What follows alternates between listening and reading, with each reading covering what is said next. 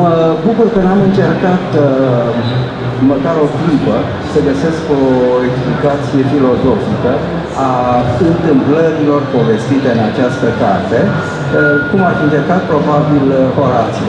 Am mers eu tot pe linia lui uh, Hamlet, acceptând miracolul. Pentru mine toate întâmplările povestite aici au fost uh, uh, un miracol și chiar dacă povestesc la rândul meu niște lucruri care mi s-au întâmplat, accentuez cuvântul întâmplare, care are și o notă de uh, ocurență scăpând uh, intenției noastre, uh, m-am simțit uh, mai degrabă ca martor decât uh, actant al uh, acestor uh, acțiuni. Uh, le-am lăsat să mi se întâmple, le-am constatat, uh, am fost sigur de, uh, că nu am avut uh, o contribuție uh, intenționată la desfășurarea evenimentelor și pornind de la această experiență am descoperit în fiecare dintre textele acestei cărți acea senzație. Uh,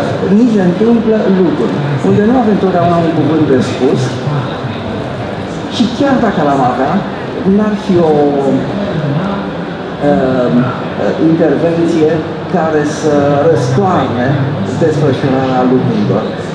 Postura de spectator este foarte odihnitoare. Spectator al uh, lucrurilor care mi se întâmplă. Însă ce mă, mă sperie puțin, dar mă și încurajează, este că aceste lucruri vin din altă parte, din o altă dimensiune. Și pentru mine faptul că acea dimensiune există și se confirmă uh, în aceste lucruri uh, pe care le-aș cataloga doar stranii, ca să nu intrăm în detalii, este ceva liniștitor după ce am trecut prin faza de liniște.